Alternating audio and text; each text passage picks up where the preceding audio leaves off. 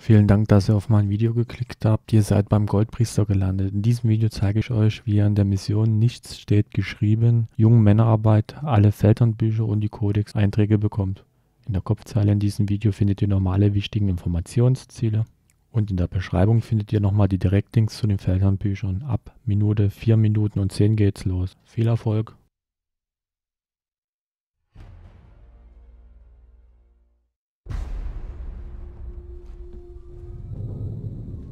Tja, du dachtest nicht, dass wir rechtzeitig hier sein würden, um dich zu stellen, oder?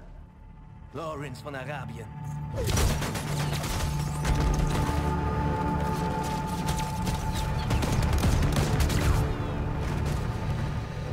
Eigentlich hatte ich fest darauf gehofft. Herr Lawrence! Das ist ja raffiniert. Nun wird der Jäger zum Gejagten. Also, wer bist du? Oh, wirklich sehr amüsant, meine Liebe. Ahmed? Amüsant? Gäbe es keine Männer wie Sie, wäre ich frei. Frei also? Du bist frei, wenn du stirbst. Und ich verspreche dir, das Reich wird euch allen diese Freiheit schon sehr bald schenken. Während wir hier stehen, flügt eine Bestie durch die Wüste. Eure Freunde, Familien und Häuser Ebenso vernichtet wie eure Schlupfwinkel. Bald könnt ihr nirgends mehr hin. Es ist vorbei. Bald ist alles, was ihr kennt. Und liebt. Nur noch Asche. Und dann habt ihr eure Freiheit. Und sterbt. Ihr Bestien! Sarah!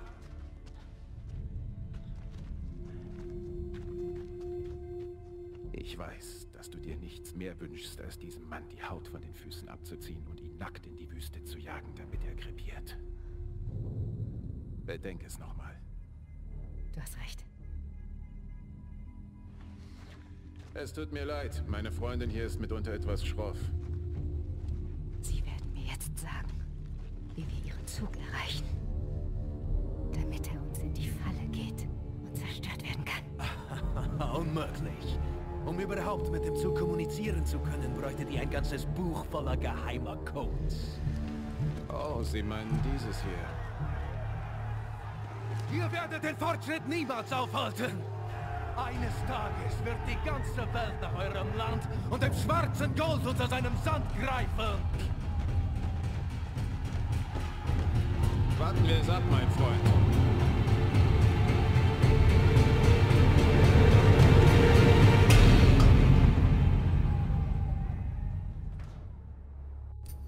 Natürlich reichte die Beschaffung des Codebuchs nicht aus.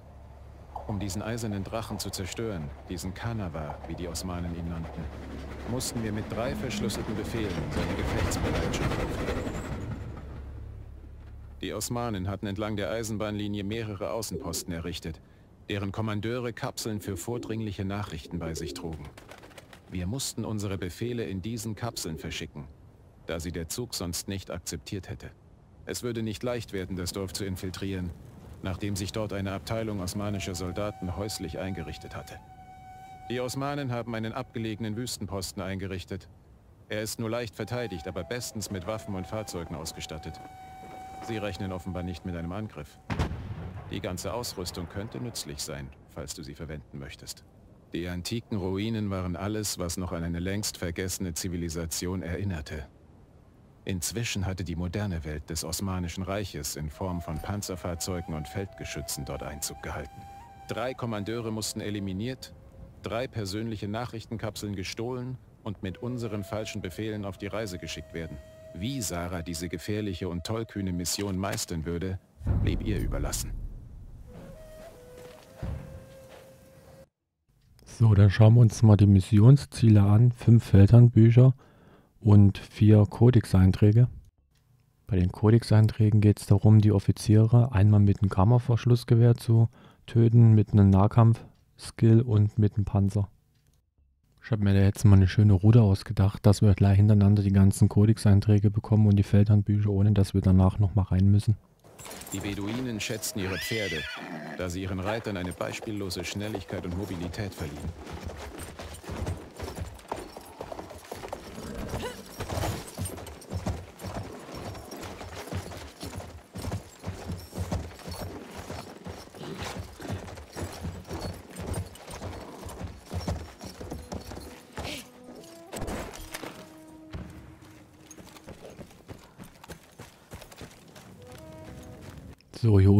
Schlucht finden wir das erste Feldhandbuch.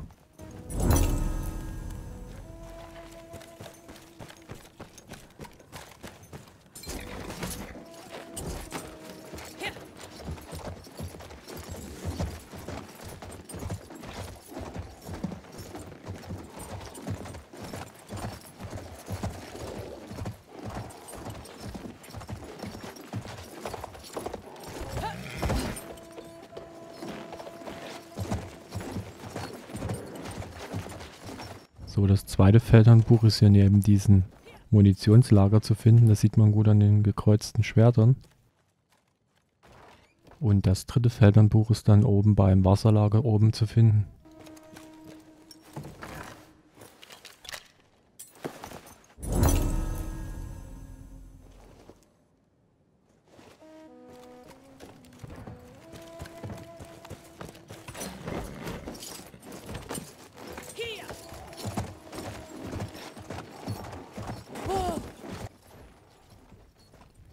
So, dann reiten wir weiter bis zum Haus mit einer orangenen Umrandung.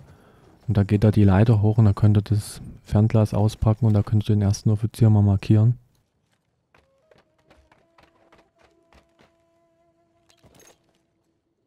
Die Offiziere werden immer mit einem kleinen Stern oben am Kopf angezeigt, wenn man die markiert hat mit Q oder mit dem Fernglas halt, ne?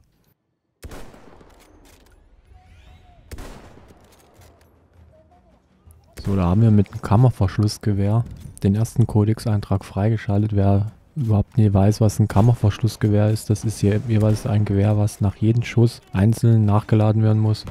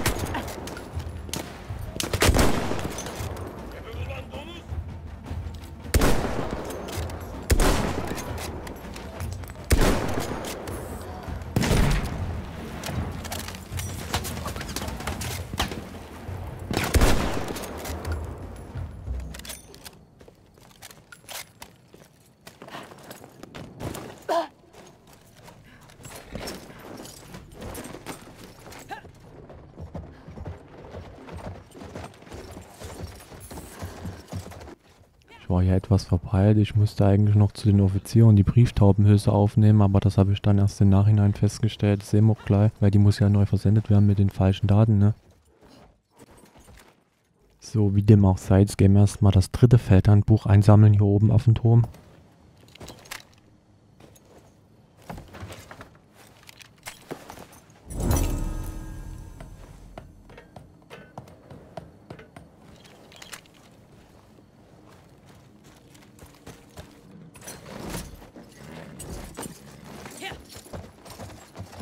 So, hier habe ich dann irgendwie doch mitbekommen, dass da noch was leuchtet. Das habe ich dann natürlich erst mir mal angeschaut und das war halt noch die Brieftaubenhülse, die ich noch einsammeln muss.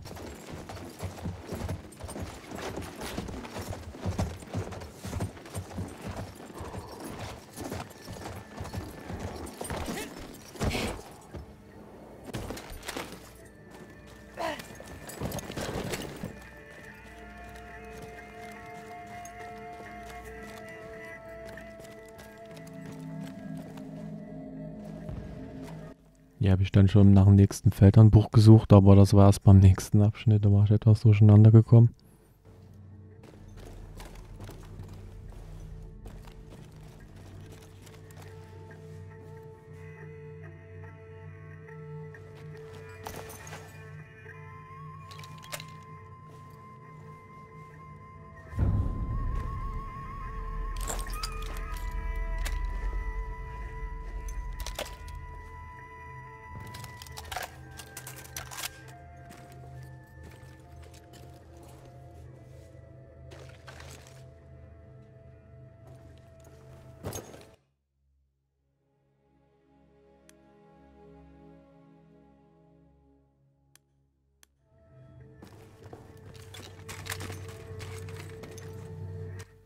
Jetzt habe ich schon mitbekommen, dass hier irgendwas nicht gestimmt hat. Aber erst beim Reiten ist mir dann aufgefallen, dass die Hülsen ja im Prinzip noch neu versendet werden müssen. Deswegen werde ich gleich auch mal nochmal eine Runde umdrehen und dann zurückgehen und die absenden. Ne?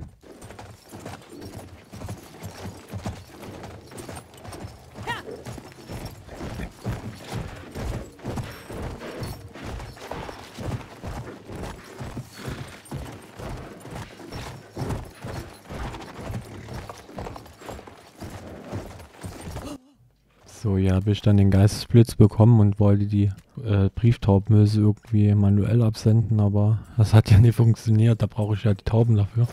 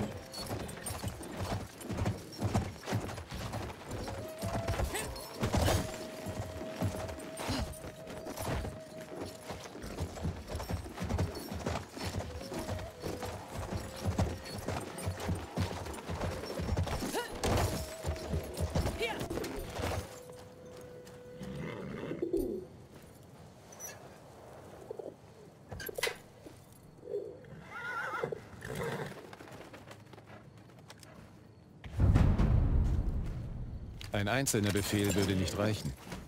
Gemäß dem osmanischen Protokoll musste er dem Zug in dreifacher Ausfertigung vorliegen, um gültig zu sein.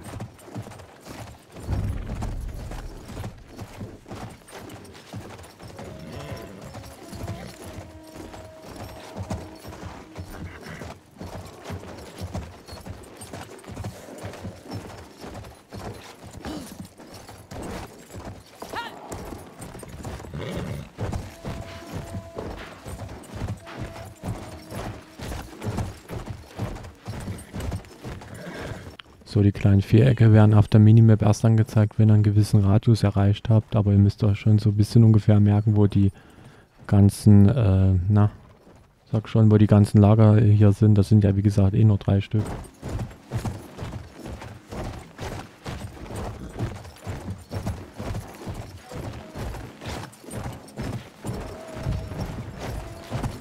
Hier am zweiten Lager bietet sich das an, links weg zu reiten und dann von der Seite an sich ranzuschleichen, aber das hat hier beim ersten Mal nicht funktioniert, wie ihr gleich sehen werdet.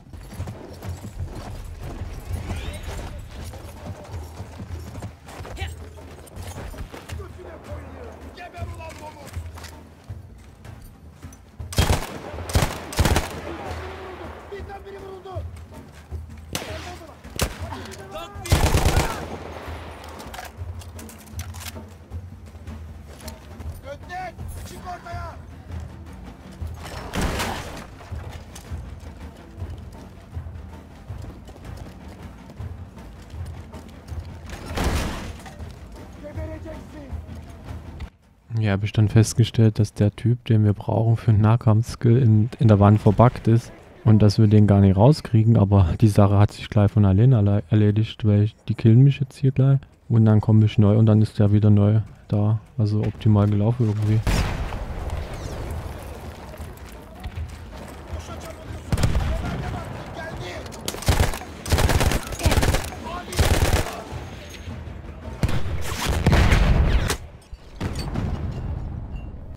Also nie, dass ich unbedingt sterben wollte, aber das hat sich durch Zufall ergeben. Ja, aber der Zufall hat mir dann geholfen, dass der Typ halt nicht mehr an der Wand rumbackt.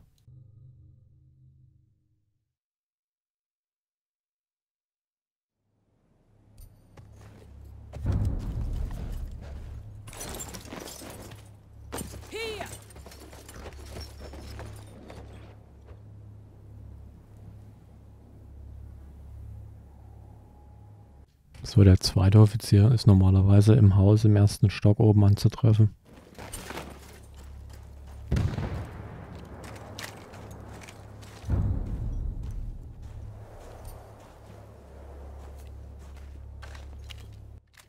Schön mit Co die Typen mal markieren, weil ich spiele wie gesagt auch schwer und das macht schon ganz schön was aus, wenn man weiß, wo die gerade stehen. Ne?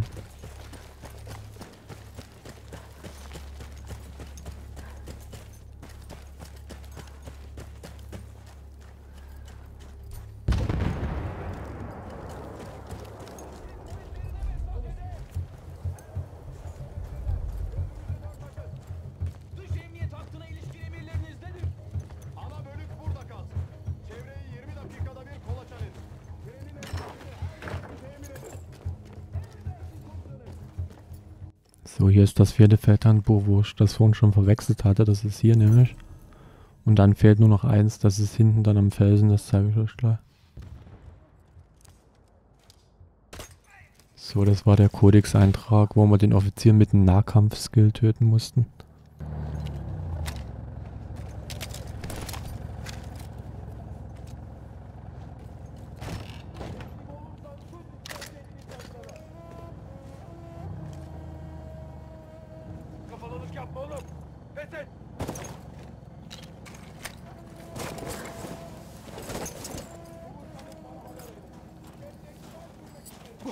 Es gibt im Prinzip noch einen Origin-Erfolg für die Map. Da muss man die ganzen äh, drei Offiziere, wie gesagt, mit einem Nahkampfskill töten. Aber das lässt sich ja im Prinzip mit diesen Codex-Einträgen, die wir jetzt hier machen, miteinander verbinden. Da muss ich dann nochmal ein extra Video machen.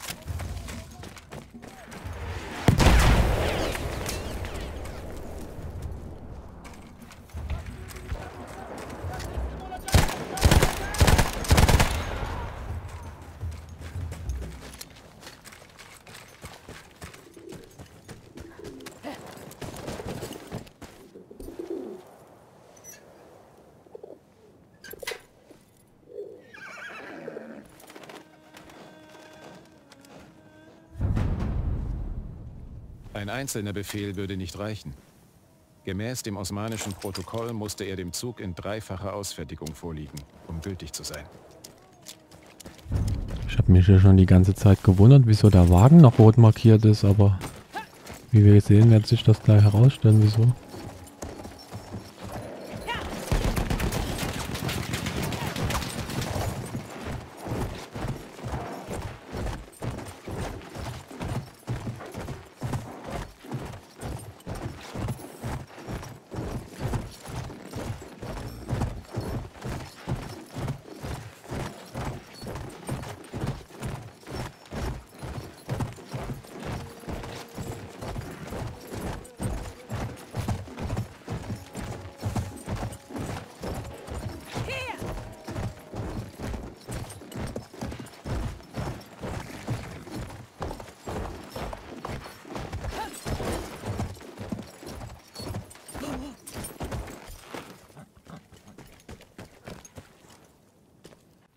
So, hier haben wir das letzte Feldhandbuch und wir werden gleichzeitig von hier oben noch diesen letzten Offizier mit dem Feldfernglas markieren.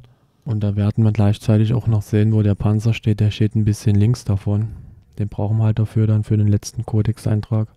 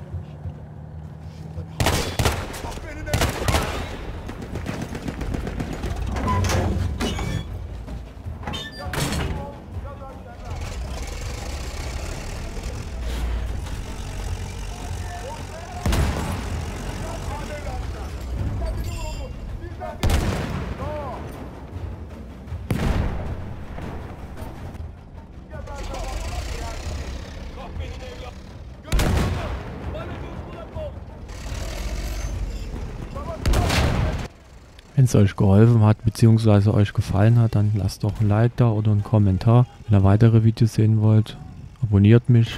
Morgen bzw. so schnell wie möglich werde ich dann Teil 16 hochladen. Das ist dann die Endmission. Da bin ich dann selbst mal gespannt, weil ich die Singleplayer-Mission äh, selbst noch nicht zu Ende gespielt habe und die ganzen Endcuts noch nie gesehen habe.